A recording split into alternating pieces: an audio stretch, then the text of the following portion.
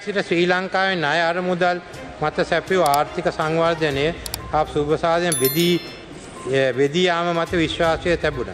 මෙය තිරසාර ආර්ථික විවක් නොවූ අතර රටේ ණය ප්‍රතිව්‍යගත කිරීම සමග මෙම ආර්කෘතිය වෙනස් කිරීම අවස්ථා ලැබී තිබෙනවා. අපට අවශ්‍ය වන්නේ රාජ සේවා සීමා සහිත ලබා දෙන බදු බර අඩු රටක්ද රජයේ කාර්ය භාරය වැඩි බදු බර වැඩි රටක්ද. පිළිබඳ තීරණය කිරීම සඳහා ශ්‍රී ලංකාවට නව සමාජ සම්මුතියක් අවශ්‍ය පවතිනවා. කුමන මාර්ගයෙන් වුවත් රටේ සංවර්ධනය සඳහා පලදායිතාවේ වර්ධනයක් හා බෙදාගත ඇති අතිරික්කයක් තිබිය යුතුයි.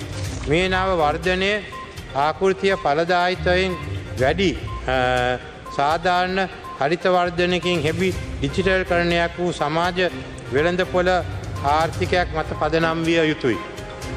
ශ්‍රී ලංකා ආදෑම් අධිකාරිය. රාජ්‍ය ආදෑම් වැඩිකට ගැනීම සඳහා මෑතකදී ප්‍රත්නය රාශයක් ගෙන ඇති අතර පෙර කරන ලද ප්‍රතිසංස්කන ක්‍රියාත්මක බොහෝමයක් අසාර්ථක වී තිබෙනවා.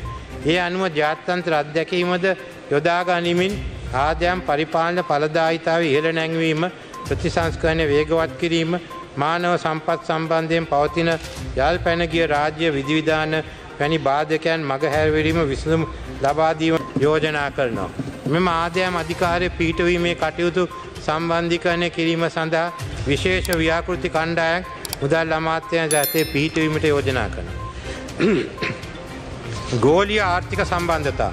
අපනෑනය සඳහා ජාත්‍යන්ත වෙළඳ පොල පුල්ලු කරගත යුතුයි. ඒ වගේම තනකාරී ආර්ථිකයක් අප නිර්මාණය කරගතුයි.